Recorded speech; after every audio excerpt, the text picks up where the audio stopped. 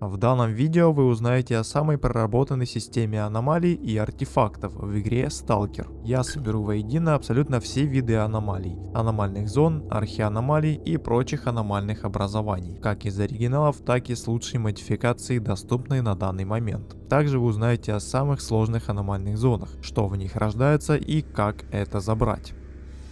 В игре Stalker существуют разные виды аномальных образований. Крайне редкие кометы и Теслы. Архианомалии, являющиеся достаточно редкими. Одиночные аномалии, которых в зоне огромное количество. И аномальные зоны, в которых чаще всего появляются артефакты. Тесла это подвижная аномалия электрической породы, перемещается по замкнутым траекториям, встречается в основном в замкнутых пространствах с высокой аномальной активностью. Артефактов не вырабатывают, является провокатором электромагнитных импульсов, из-за которых приборы начинают давать сбои в работе. Существует теория, согласно которой аномалии эволюционируют, и это эволюция электры. Комета – это также подвижная огненная аномалия, перемещающаяся по замкнутым траекториям. Представляет собой огненный шар небольшого диаметра, за которым тянется хвост из того же огня. Перемещается по неменяющимся замкнутым вертикальным траекториям с постоянной скоростью. Может быть частью составных аномалий. В пределах 3 метров наносит сильный термический урон. Модификации Lost Alpha можно найти комету в саркофаге, в аномальной зоне с жарками и воронками в темной долине и на северных холмах в адской яме. Там присутствуют кометы, не наносящие урон. В тенях Чернобыля в одном из залов лаборатории X-18. В чистом небе, в темной долине недалеко от базы Свободы и в Зове Припяти, возле аномалии Цирк, пещерах под сгоревшим хутором, в подвале универмага и в аномалии Вулкан. В Зове Припяти можно увидеть химический вариант кометы, которая двигается в лазе в восточной Припяти. Архианомалия или сверханомалия. Особый вид аномалии, в котором сочетаются несколько простых видов аномалий. При этом видоизменяется земной ландшафт. К примеру, в архианомалии Симбионт встречаются гравитационные аномалии, пси-поле и радиация, и под воздействием гравитационных сил часть почвы поднялась и образовала выступы когти. К тому же стоит отметить, что архианомалии, как правило, занимают гораздо большие площади, нежели обычные аномалии. В лесу модификации Lost Alpha встречается нечто похожее на симбионт из чистого неба в рыжем лесу. Некоторые архианомалии являются уникальными, другие же встречаются в нескольких местах. В то же время в Зове Припяти архианомалии встречаются на каждом шагу, и все они уникальны. Например, пси-разлом Рубец на Затоне, Соснодуб или Цирк. Среди архианомалий можно встретить крайне редкую, пространственную аномалию, которая находится на градерне и из нее выпадает основатель долга. Одиночных аномалий в зоне полным-полно. Часто они оказываются не менее опасными, чем аномальные зоны. Одиночные аномалии бывают следующих типов трамплин, воронка, карусель, лифт, электро, жарко, пар, кислотный туман, холодец, газировка, жгучий пух, ржавые волосы, хваталка, телепорт, пузырь и лифт. Поговорим более подробно про аномальные скопления, которые представляют не только особую опасность, но и выгоду. Самую проработанную систему поиска артефактов и аномальных зон можно найти в модификации, максимально приближенную к оригиналу Теней Чернобыля. Это Lost Alpha последней версии, Enhanced Edition. Здесь артефакты спавнятся в аномальных скоплениях после выброса с вероятностью 45-50%. Также около 200 артефактов свободно лежат на просторах зоны, рядом с одиночными аномалиями, что намекает игроку на постоянное путешествие с детектором в левой руке. Также есть шанс в виде 1%, что артефакт появится при смерти мутанта в аномалии. В этой модификации артефакты уменьшены в размере, и их можно обнаружить даже без детекторов. Аномальные зоны состоят из множества одиночных аномалий и представляют из себя целую головоломку. У каждой зоны есть минимум один проход в ее эпицентр, где чаще всего находится артефакт. Карусель выделяется поднятием в воздух любого живого существа с последующей раскруткой до огромной скорости. Любой попавший в нее будет жесточайше разорван на части. Яркий представитель аномальных зон, состоящий из каруселей, находится на локации Северные холмы. Перед вами указан способ прохода в центр аномальной зоны, где и находится долгожданная добыча. В состоянии покоя очень похожа на аномалию воронка и зачастую расположена с ней по соседству, особенно в крупных скоплениях. Кроме каруселей здесь находится аномалии воронка.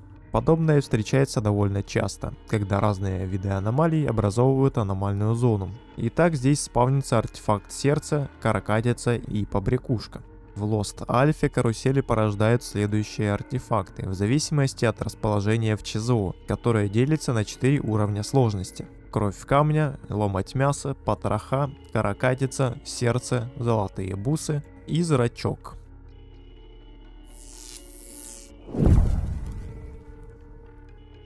Именно эту аномалию первой может увидеть игрок в Сталкер Тень Чернобыля. Во время пояснения Сидоровича об опасности аномалий. Если в тенях Чернобыля в эту аномалию попадет бандит, то проигрывается фоновый крик смерти. Если в аномалии будет разорван тушкан, то от него отлетят оторванные конечности зомби, которые никак не могли ему принадлежать.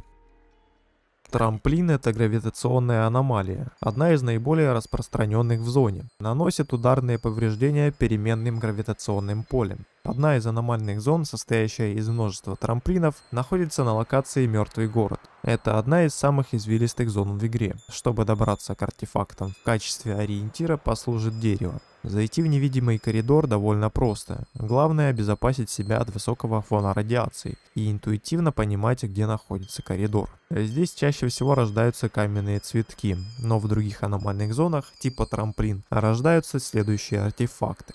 Медуза, кристальный цветок, ежик, каменный цветок, ночная звезда, пустышка и пружина.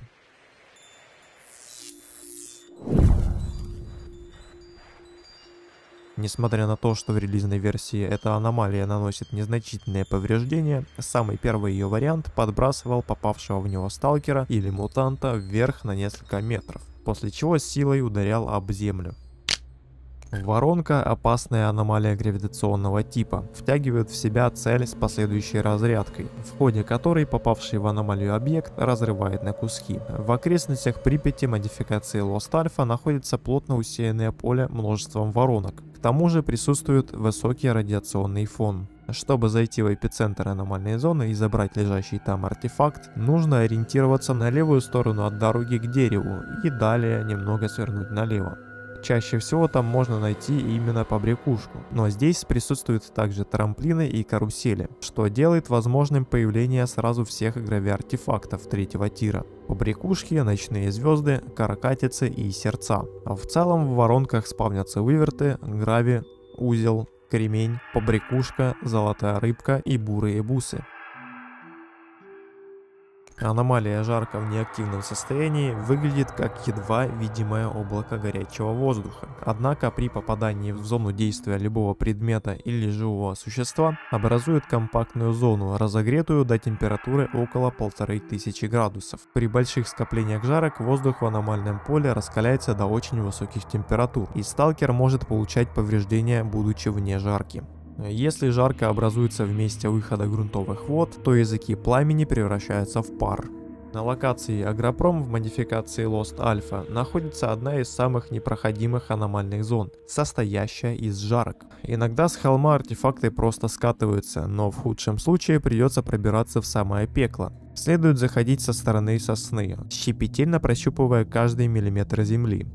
Здесь может появиться артефакт капли, кварцит или красные бусы. В более северных аномальных зонах также могут быть огненные шары, глаз, пламя, ртутный шар и кристалл. Электро легко различима в любое время суток. Днем ее можно опознать по голубому туману или звуку, а ночью она хорошо подсвечивается. Потревоженная аномалия взрывается десятком мини-молний, причем поражение током для любого живого существа почти всегда смертельно. В Lost Альфе на территории окрестностей Припяти присутствует смертельный завод по производству редких артефактов, таких как лунный свет, вспышки и снежинки. Аномальная зона представляет из себя скопление высокого фона радиации, электр и пси-излучение. В целом электры порождают следующие артефакты. Бенгальский огонь, аккумулятор, искра, безделушка, вспышка, лунный свет, снежинка, зорница и разряд.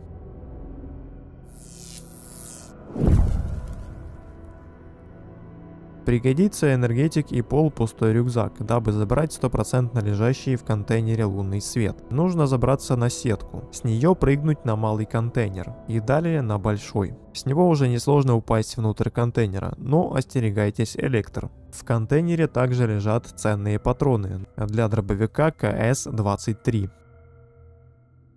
Холодец – это образование неясной до конца природы. При контакте с телом наносит травмы, схожие с эффектом воздействия сильной кислоты. Урон от аномалии может быть от небольшого до исключительно летального.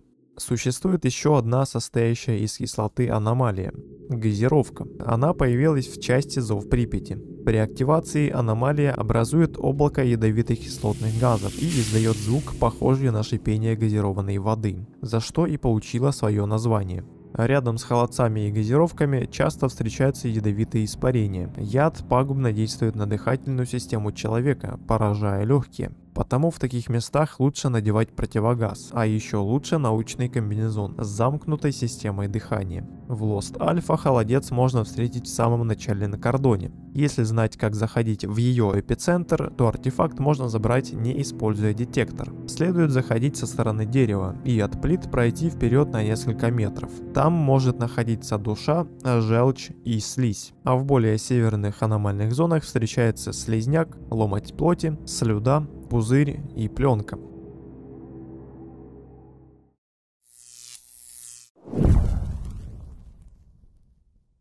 В игре Lost Alpha Enhanced Edition существует костюм, который не изнашивается при получении урона от аномалий. Его название SSP-10, или же его модифицированный вариант SSP-10M. Последнее находится на янтаре за закрытой дверью возле помещения с большим мозгом. Ключ к этой двери дает Шустрый, если отдать ему первый костюм, лежащий возле мозга. Хваталки в спокойном состоянии находятся неподвижно на земле. При попадании в зону досягаемости потенциальной жертвы хваталка закрывается. Реагирует на нахождение в зоне досягаемости главного героя или мутантов, но не реагирует на артефакты.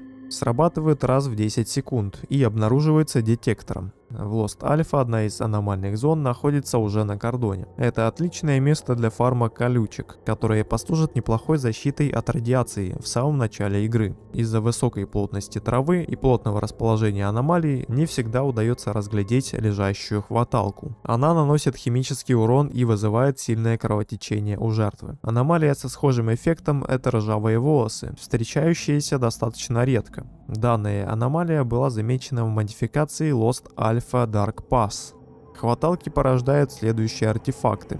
Колючка, кристальная колючка, морской еж, батарейка, зеленые бусы и поганка.